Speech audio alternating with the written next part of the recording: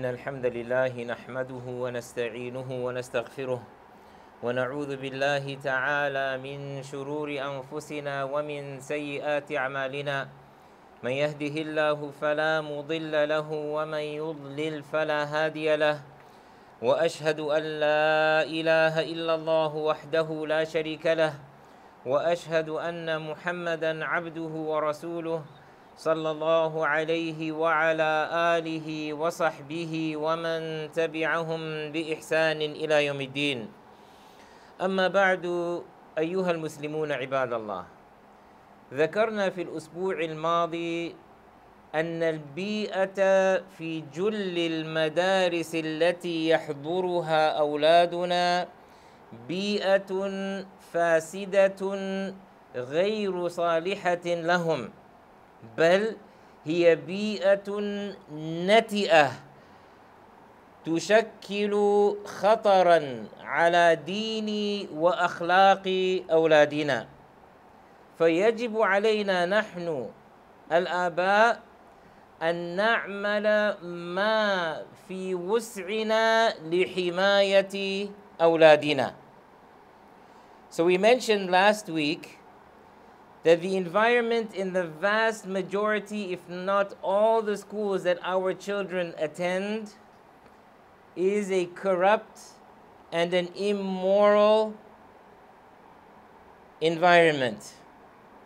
The environment in these schools is corrupt and it is immoral and it is not healthy for our children. As a matter of fact, if I can say it very bluntly, it stinks And it poses a danger to the religion, the faith, and the values and the morals of our children. And it is our obligation as parents to do whatever we can to protect our children from all of those dangers. ثم ذكرنا بعض ما ينبغي علينا أن نقوم به لحماية أولادنا. Then we started mentioning some of the things that we can do in order to protect our children. ومما ذكرناه أنه علينا أن نكون قدوة لأولادنا فكما ذكرنا الذي يريد من أولاده أن يصلي فليقم الصلاة في بيته والذي يريد من أولاده أن يكون أن, أن يكونوا على خلق فليكن خلوقا هو From those matters that we mentioned, or those things that we mentioned that one has to do in order to protect their children, we said that we must be examples or role models for our children. And we said, for example, if you want your children to pray, then you have to establish the prayer yourself. And if you want your children to have good manners, then you have to practice good manners as well. وكذلك علينا بالدعاء فكما ذكرنا إن الأمر بيد الله كل شيء بيد الله سبحانه وتعالى القلوب بيد الله جل وعلا فعلينا بالدعاء نسأل الله سبحانه وتعالى أن يحفظنا وأن يحفظ أولادنا وأن يثبتنا على على هذا الدين And from the things we have to do is supplicate to Allah, turn to Allah subhanahu wa ta'ala day and night. After all, everything rests in His hands. He subhanahu wa ta'ala manages and controls the affair, all the affairs. So it only makes sense to turn to Him. So we beg of Allah subhanahu wa ta'ala to protect us and to protect our children and to keep us steadfast upon this religion. وكذلك قلنا أنه علينا أن نتحاور مع أولادنا فإذا رجعوا من المدرسة نسألهم ماذا تعلمتم اليوم ونسألهم عن تلك المواضيع الحساسة التي نخاف التي نخاف عليهم منها ونذكرهم بالله سبحانه وتعالى ونسألهم عن صلاتهم هل صلوا أم لم يصلوا وهكذا We also said that we need to speak to our children. We need to talk to them. So when they come back from school, ask them what they learned at school. Speak about those sensitive topics that they may have listened to at school. We're afraid for our children. So we want to know what was said to them. What kind of poison were they fed? Remind them of Allah subhanahu wa ta'ala. Because at school we said that they want to remove Allah from every equation. And we want to make sure that Allah is present in every equation. Ask them about their prayers, whether they prayed or not, and so on and so forth. وقلنا أنه علينا أن نقوم بواجب تعليمهم أمور دينهم. والأمر هذا أظن واضح جدا. فولدك هذا إذا كبر وأخذ الدكتورات. وليست دكتورة واحدة فقط. وبدأ يعمل ويكسب المليارات لكنه لا يعرف كيف يتطهر وكيف يصلي لربه فما قيمة هذا الولد؟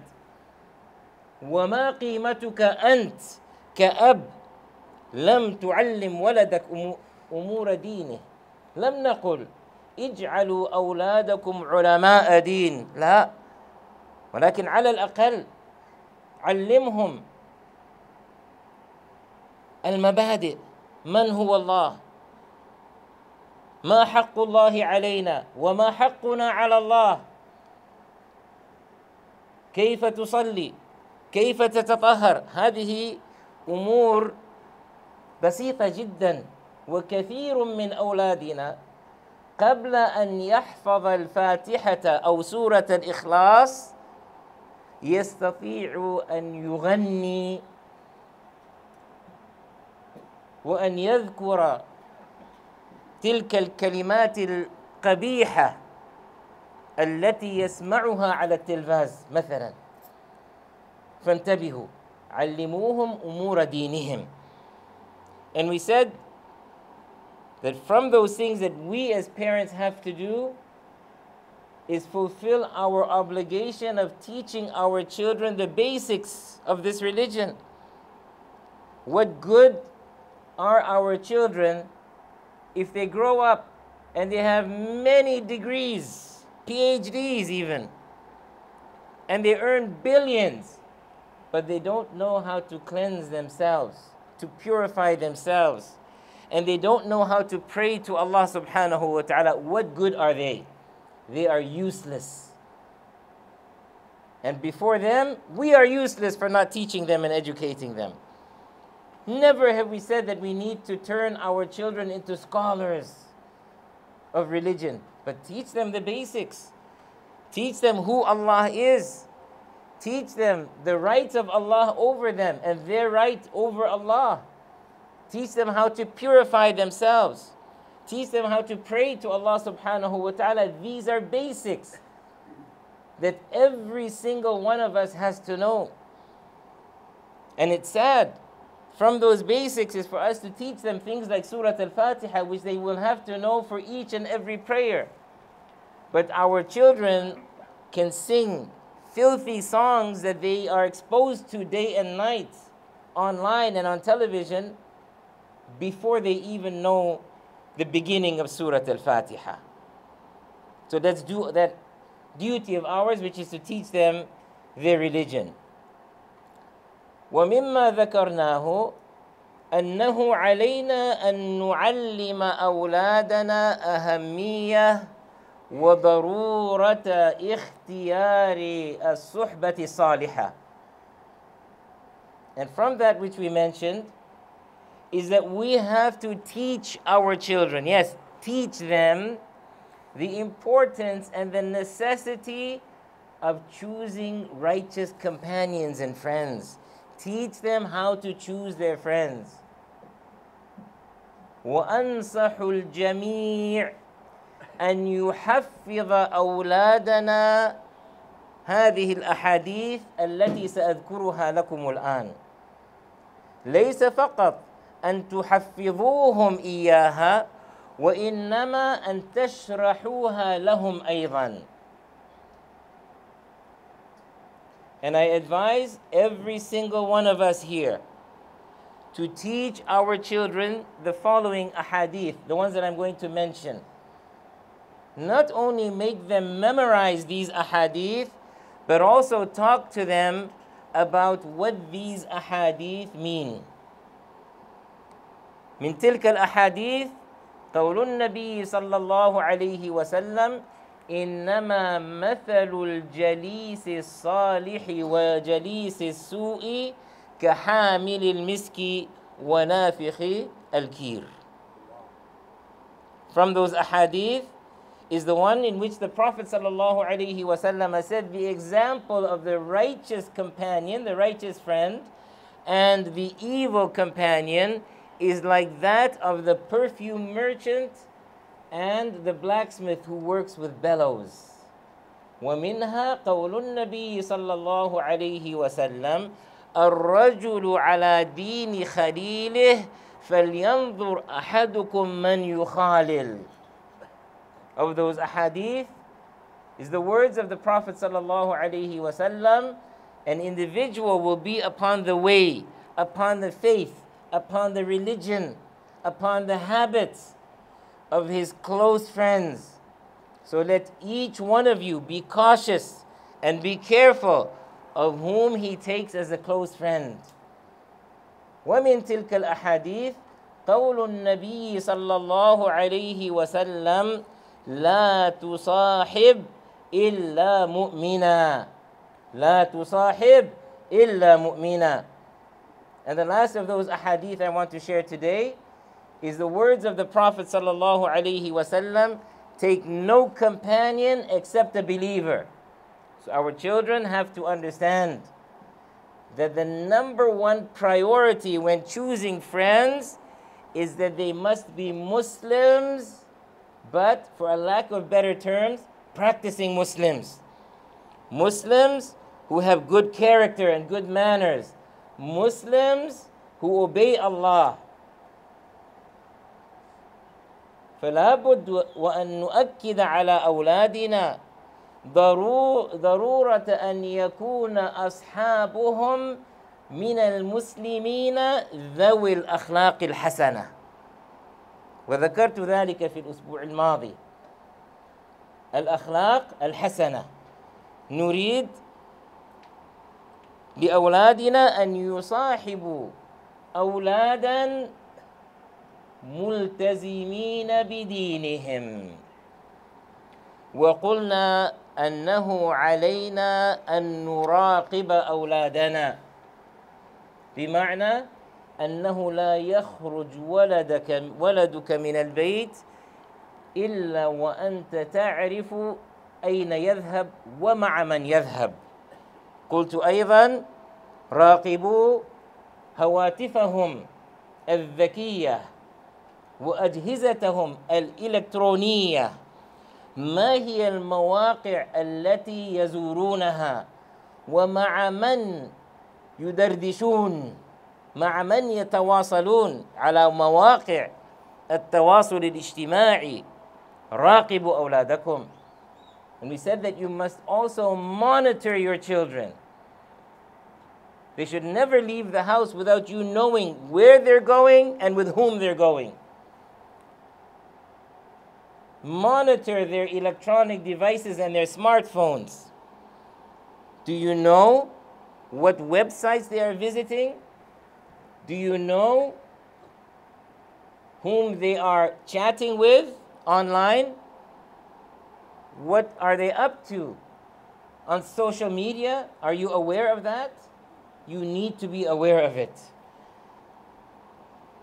الأسبوع الماضي بعد الخطبة فإذا بي أرى رسالة من أم. رسالة أبكتني والله. تقول لي هذه الأم أنها اكتشفت بعد أن قرأت على جوال ابنها صدفة. يعني هي لم تكن ممن تراقب أولادها. وإنما صدفة رأت دردشة بين ابنها وأصحابه واكتشفت من خلال تلك الرسائل أن ابنها شاذ جنسيا. بل كان في علاقة مع ولد آخر ثم قطع ذلك الولد العلاقة بابنها وهو حزين يشتكي ذلك لأصحابه. ثم حينما تحدثت معه قال لها يا أماه أنا بحب الصبيان والبنات بعد. حسبي الله ونعم الوكيل. من أين تعلم ذلك؟ تعلمه من المدرسة وتعلمه من ذلك الجهاز الذي وضعته هي في يده فانتبهوا When I talk about monitoring, many people lose it, but only because they don't have enough brain cells to think with, because they don't understand what we are really saying. You know, after last week's khutbah, I was shocked by a letter that I received from a mother. It made me cry. This mother informs me that she was cleaning, and just by chance, she came across her son's phone. She wasn't in the habit of monitoring as I promote, but it just happened perchance and she noticed some disturbing messages. He was chatting with his friends, and she discovered while reading those messages that her son is gay. Well, no, he's bisexual. He was in a relationship with another boy. And he was complaining to his friends that the other guy dumped him. And when the mother spoke to him, he said, Mom, really, I like boys and girls. Where did he learn that from? Certainly not from the home, but rather from that device that the mother put in his hands and from the school. Did we not say that the environment stinks? Absolutely. So you and I have to monitor our children. هذا ما ذكرناه في الأسبوع الماضي وأقول مستعينا بالله إن هناك أمورا أخرى وأذكر بعضها اليوم أقول مما ينبغي علينا فعله أن نكون نحن الآباء نشيطين أو نشيطين في الجالية لا تعتمد على المسجد أو المركز الإسلامي. أنت كأب أنت كأم أنتم مسؤولون. فكونوا على التواصل مع المسلمين المحافظين في جاليتنا. نحن بحاجة إلى نشاطات. ومرة أخرى لا تعتمد على المركز الإسلامي. نحن نحتاج على سبيل المثال إلى مجموعات شبابية. فأين أنتم؟ لماذا لا تتكلمون وتستشيرون حتى أولادكم؟ ونكون هذه المجموعات. وأعدكم لو أن هناك أفكارا مناسبة وأتيتم بها إلي فسأعمل المستحيل حتى ننفذ هذه الأفكار. والمركز الإسلامي هذا ليس ملكا لي ولا ملكا للإدارة.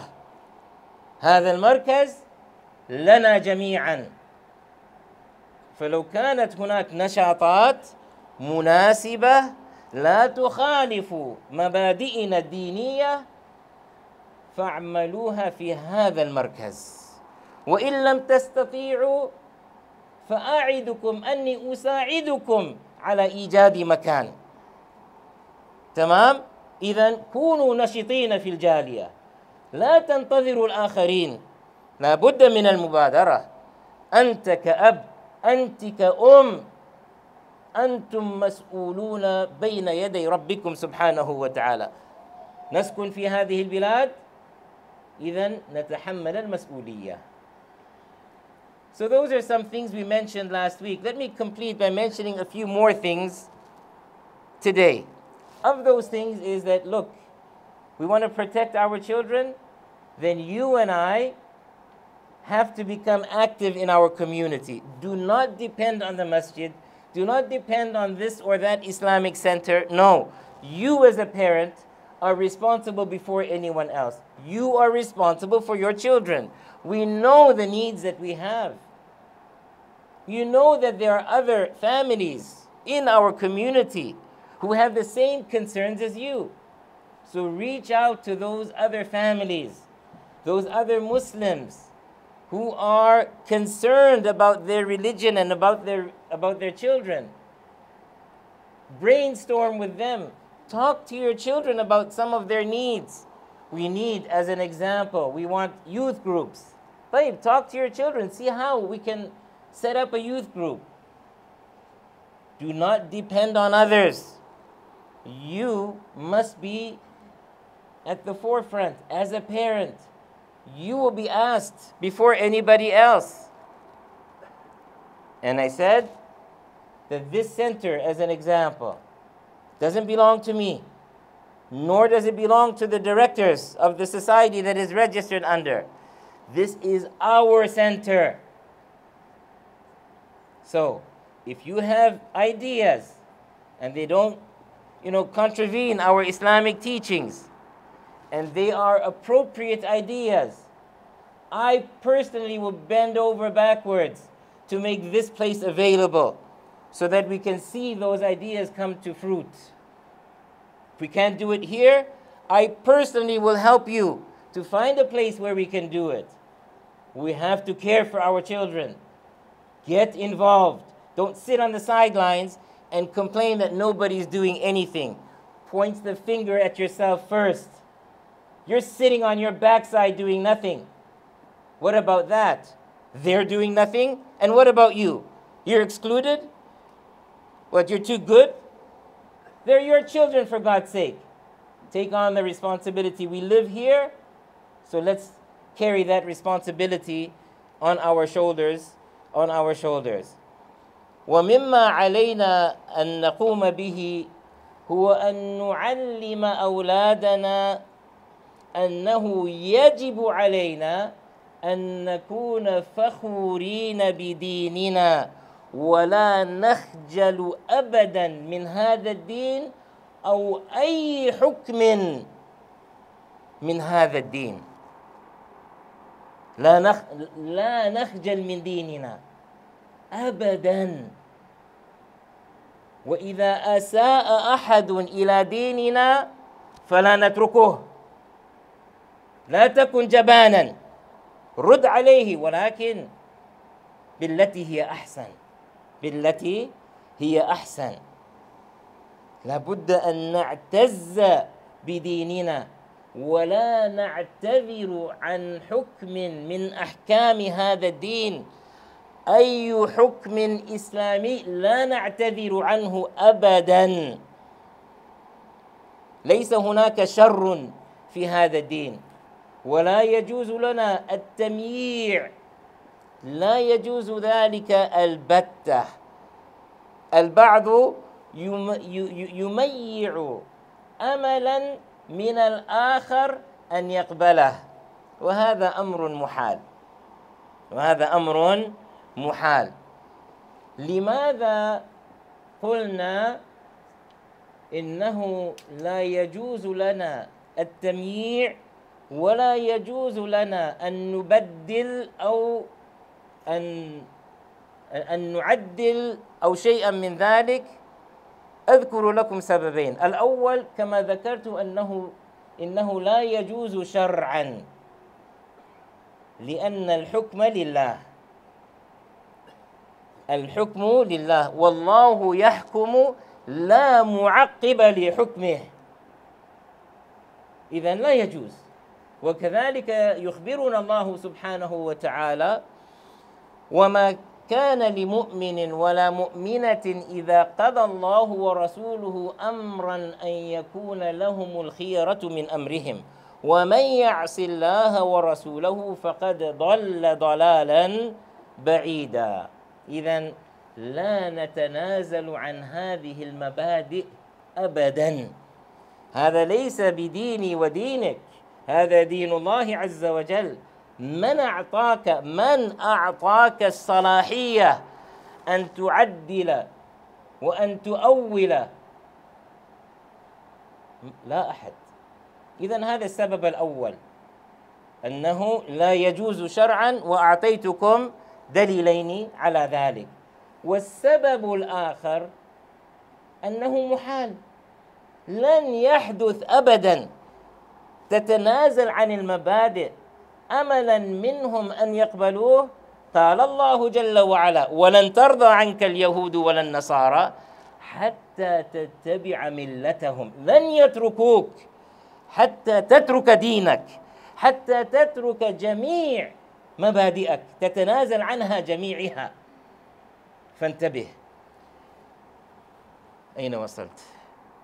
We said that from the things that we have to do is teach our children that we must be proud of our religion. We have nothing to be shy of whatsoever. We don't apologize for anything in our religion, not even a single ruling that is found in our religion. Take pride in your Islam. Cherish this religion of yours. Do not apologize for it in any way, shape, or form. Don't try to water this religion down in the hopes that the other will accept it from you because that's never going to happen. Now, why can we not water things down? Why can't we say, yeah, but you know, as some of them say today, yes, this ruling is found in the books of Islam, the Quran, the Sunnah of the Prophet but we're looking to changing it because it's not suitable to these times. That is kufr, that is disbelief. Because they have rejected a hukum of Allah, Allah's decree. He is the one who decrees. There is no changing of His decree. As He subhanahu wa ta'ala tells us, Wallahu yahkumu la mu'aqiba li hukmih. It is Allah who decides and decrees. No one can reverse His decree, His decision. No one can change it. No one can alter or amend it. Absolutely not. Allah Jalla wa'ala also tells us very clearly in the Quran that no believer, whether male or female, وَمَا كَانَ لِمُؤْمِنٍ وَلَا مُؤْمِنَةٍ that when Allah and His Messenger wasallam have decided and decreed a matter, then no one, no believer, male or female, has the right to give their opinion. They don't have a choice in the matter. Allah says, do, you can't say, yeah, but. No, you don't have that right. And he tells us that whoever then disobeys Allah and His Messenger sallallahu alaihi wasallam, that they have gone far, far astray. So we need to teach them that there is no compromising our principles, our basic principles. There is no compromising in the religion. So, the first reason that we cannot water down this religion is that it's not permissible. And I gave you the two evidences. The second reason is it'll never happen compromising and giving up some of our principles in the hopes that the other will approve of us and accept us is not going to happen with a certainty. Allah tells us in the Quran What means that the Jews and the Christians, although they are mentioned, is because they are the majority. Any disbeliever is included in this. The Jews and the Christians will never be pleased with you. They will never approve of you. They will never be happy of you. Lan, which, is, which means it will never happen. Until you follow their way, until you follow their faith, until you follow their religion, until you adopt their values. So it's never going to happen. This religion doesn't belong to me, meaning I didn't invent it, nor did you. We did not legislate this religion. It is Allah subhanahu wa ta'ala who did so. So He and He alone has the right to legislate, and none of us has the right, none of us has the right to alter things. We have to teach our children also not to be cowards. If anybody attacks our religion, do not take it.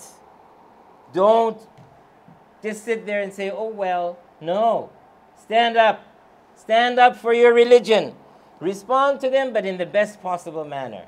Don't become foul and vulgar. Don't resort to violence. These are not the ways that we respond. Respond in the best manner. You don't know how? Ask, learn, and then go back and respond. قلت إذا أساء أحد إلى ديننا فيجب علينا أن نرد عليهم.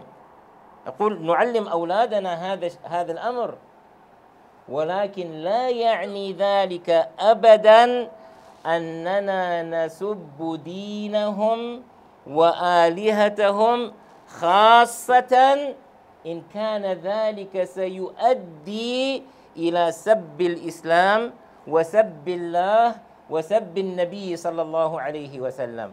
ودليلي على ذلك قول ربي جل وعلا ولا تسبوا الذين يدعون من دون الله فيسبون الله عدوا بغير بغير علم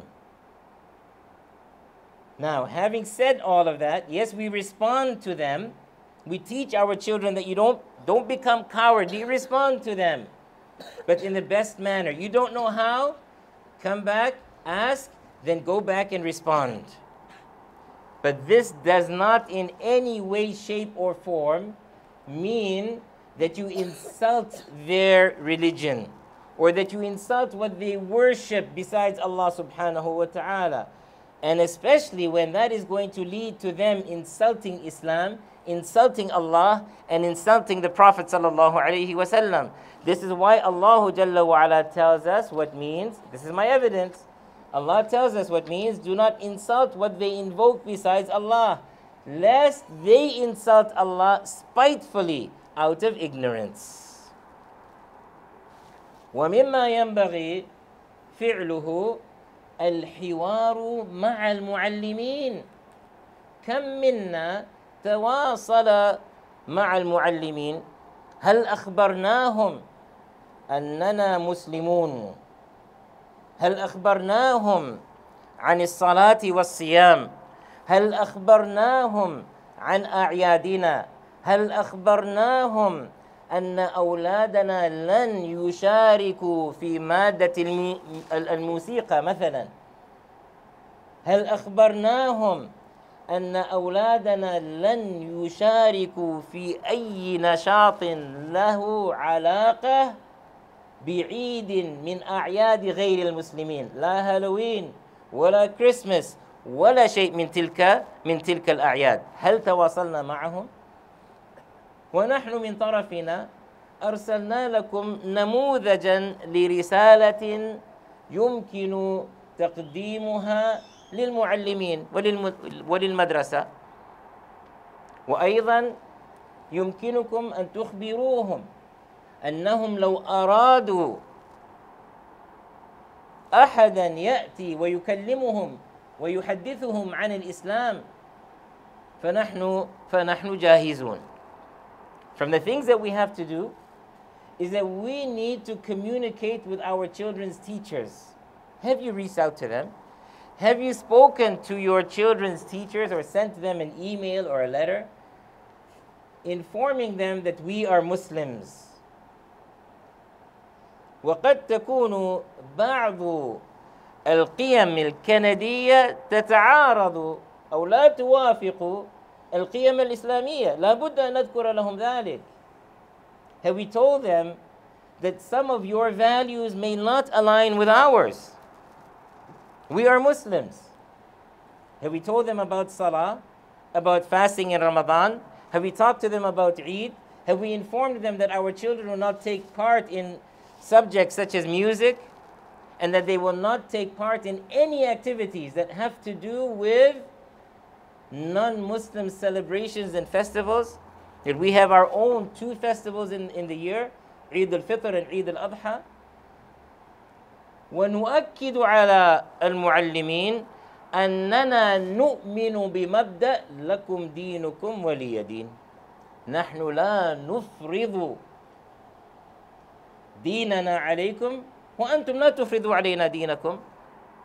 قيمنا واضحة نحن لا نفرض عليكم قيمنا وأنتم لا تفرضوا علينا قيمكم. الأمر سهل. And at the end, we want to confirm and let them know that look, we're not forcing our religion or our values on you. But we also expect that you will not force your values and your religion on us. We believe in a very solid principle. We find it in our book. Lakum dinukum waliyadin. To you is your religion and to me is mine. I don't force my values or my religion on you. Well, I, I expect that you also will not do that. You will not force yourself or your values on me. We've also sent out an email and a WhatsApp message, and in it there is a sample letter that you can send to the school. So if you wish to do that, you're, you're free to do so. You're welcome to change it as you see fit for your own children or your own circumstances. And if you want to inform your, your school that we have people who can come and speak to you about Islam and Muslims and give you some sensitivity training, then we are more than willing, we are more, more than willing uh, to do so. طيب هذا يا إخواني وأخواتي وهناك من الناس من يقول طيب هذه الأمور التي ذكرتها كلها جيدة إلا أنه لماذا لم تتحدث عن التدريس المنزلي ولماذا لم تتحدث عن إنشاء مدرسة إسلامية؟ أقول نحن نريد أن نكون واقعيين. نعيش مع واقعنا. أنا أتحدث الآن معكم معشر المسلمين في مدينة فيكتوريا. وأنا أعرف أن كثيرا من الآباء والأمهات ظروفهم لا تساعد على التدريس المنزلي. فلذلك ذكرت ما ذكرته. ولكن مع ذلك أقول إن كنت قادرا على ذلك فلتفعل. درس أولادك في المنزل.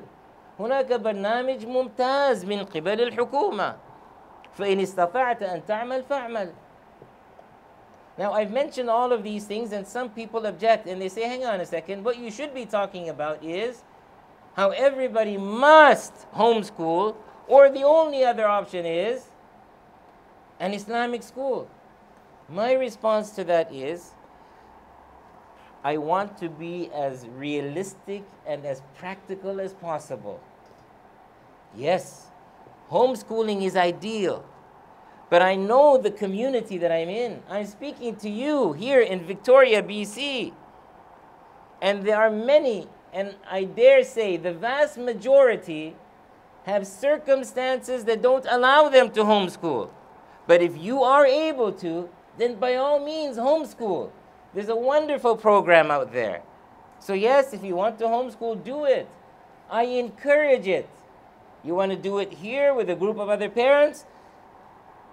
You have permission. No two ways about it. طيب والحل الآخر إنشاء مدرسة إسلامية يا ناس أتفهمون أن الأمر ليس بهين نعم إن شاء الله تعالى في المستقبل بس تعرفون أنه هذا المشروع يكلف الملايين الملايين. تحتاج إلى مبنى خاص. تحتاج إلى مدرسين. يعني كيف من أين ستدفع للمدرسين؟ بالله عليكم. لو طلب من أحدنا شهريا خمسين دولارا للمركز, للمركز أو للمسجد نستثقل ذلك. هل بعد ذلك إذا طولبتم بألف دولار على كل طفل تسجلونه في المدرسة لن تشتكوا يعني؟ خلونا نكون واقعيين. نعم نسعى إلى ذلك ونسأل الله عز وجل أن ييسر الأمر ولكن الواقع أن, أن الآن لا يمكن لنا ذلك. وهنا أنبه على أن هناك مدارس تسمى مدارس إسلامية في كثير من المدن في كندا وفي أمريكا ولكنها غير إسلامية. وعندي تجربة عن قرب. فانتبهوا. يعني لا يكفي أننا ننشئ مدرسة ونسميها مدرسة إسلامية ثم هي غير إسلامية. واللبيب بالإشارة يفهمه An Islamic school, this is what you should be talking about. Yeah, I know. But let's be realistic. Do you know that it costs millions? You need a building that is up to standard. You need licenses and you need to pay teachers. What are you going to do? Pay teachers peanuts? You want to pay peanuts? You're going to get monkeys. You want monkeys teaching your kids? Ya Jama'ah, be realistic. It costs money. You know, right now, if you were to say to everyone, $50, can you pledge $50 a month to support the masjid or the Islamic center? We're going to say, oh my God, so much. So, what are you going to do then tomorrow? When we have that school, state of the art school, and hire the best of teachers, $1,000 a month for your child, for every child. We couldn't pay the 50 bucks. You think you're going to pay the 1000 for every child? Be realistic. Yes, we ask Allah subhanahu wa ta'ala to make it easy, and inshallah, we will get there. But we're not there yet. وهناك أمران آخران مهمان جدا سأذكرها على السريع. Two more quick but important matters that I have to mention. الأمر الأول يتعلق ببناتنا الغاليات. The first is to do with our precious daughters. يا أحباب رسول الله صلى الله عليه وسلم لا تتركوا بناتكم تخجل من حجابهن ولا أن تتنازل عن حجابهن الحجاب. الحجاب الشرعي فخر. فخر وجزء من ديننا. الحجاب الشرعي جزء من هوية نسواننا. جزء من هويتهن. بناتنا البالغات خصوصا. لا يجوز شرعا. هذا حكم شرعي. لا يجوز لهن أن يخرجن من البيت أمام الرجال الأجانب بدون حجاب. لا يجوز شرعا. وهذا الحكم يعرفه كل منا. فخروجها بدون حجاب معصية وكبيرة من كبائر الذنوب. وعلى الأمهات أن يعلمن البنات هذا الحكم وأن يعلمنهن الحجاب الشرعي. وضع قطعة قماش على الرأس ليس بحجاب. علموهن ذلك. The first matter pertains to our precious daughters. Do not allow your daughters to be shy and ashamed of the hijab. Do not allow them to compromise and give up the hijab. The proper Islamic hijab is a source of pride for them. It is part of their identity. And especially your daughters who have reached puberty know that Islamically it is haram, it is forbidden, it is impermissible for them to leave their homes and be in front of non mahram men without the hijab. It is forbidden. It is a grave sin. It is a disobedience against Allah subhanahu wa ta'ala. And mothers in particular need to teach their daughters this ruling. And they also need to teach them what proper hijab is. Throwing a scarf on the head is not hijab. Hijab is about a lot more than that. Ala kulli hal, there's another time to discuss that. Although I think we have talked about it before. والأمر الثاني هو ما يتعلق بالعلاقة بين الصبيان والبنات. هل جلسنا مع أولادنا وتكلمنا عن هذا الأمر؟ نعم أنت يا ابني لما تذهب إلى المدرسة سترى البنات وخاصة في هذه البلاد وخاصة في الصيف ستراهن يلبسن شيئا بسيطا من اللباس. هي شبه عارية. هل تحدثنا معهم عن غض البصر؟ هل تحدثنا معهم عن عدم جواز صحبة البنات؟ يعني هذا الكلام مع الصبيان ومع البنات. هل أكدنا عليهن أمر الحجاب؟ وأنها لا تختلط هكذا مع الرجال. مع الشباب. هذه العلاقات سواء كانت في المدرسة أو خارج المدرسة وحتى على مواقع التواصل الاجتماعي. The last point is about our youth, males and females, boys and girls. Have we taught them about how it is impermissible for them to have boyfriends and girlfriends, or even for boys to have girls as casual friends, not allowed. Not in person, nor online. How many of us have had that conversation with our sons and daughters? Just because they do it in this society doesn't make it right.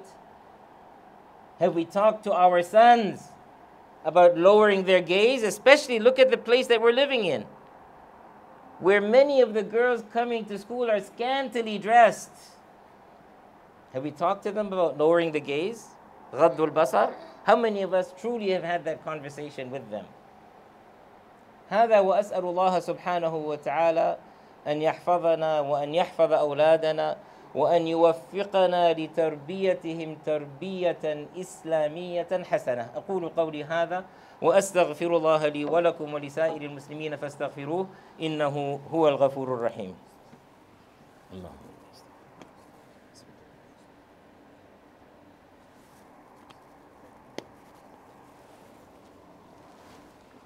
الحمد لله رب العالمين والعاقبة للمتقين ولا عدوان إلا على الظالمين. وأشهد أن لا إله إلا الله وحده لا شريك له وأشهد أن محمدا عبده ورسوله صلى الله عليه وعلى آله وصحبه ومن تبعهم بإحسان إلى يوم الدين. اللهم أعز الإسلام والمسلمين. اللهم أعز الإسلام والمسلمين وأذل الكفرة والمشركين. اللهم دمر أعداء الدين وأهلك الزنادقة والملحدين. اللهم اغفر لجميع المؤمنين والمؤمنات والمسلمين والمسلمات. الأحياء منهم والأموات. إنك سميع قريب مجيب الدعوات. ورافع الدرجات برحمتك يا أرحم الراحمين. اللهم انصر المجاهدين في سبيلك في كل مكان. الذين يجاهدون في سبيلك ولإعلاء كلمتك. اللهم ثبت أقدامهم واربط على قلوبهم وأنزل السكينة عليهم. وانصرهم على عدوهم وعدوك يا عزيز يا قوي. اللهم انصر إخواننا المستضعفين في كل مكان. اللهم خذ بأيديهم وعجل بنصرهم يا عزيز يا قوي. اللهم عليك بأعدائك أعداء الدين. اللهم عليك بهم فإنهم لا يعجزونك.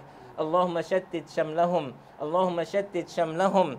وزلزل الأرض من تحت أقدامهم. ورد كيدهم في نحورهم. اللهم اكفناهم بما شئت. اللهم اكفناهم بما شئت. اللهم اكفناهم بما شئت. اللهم ربنا آتنا في الدنيا حسنة وفي الآخرة حسنة وقنا عذاب النار. وآخر دعوانا أن الحمد لله رب العالمين. قوموا إلى صلاتكم رحمكم الله.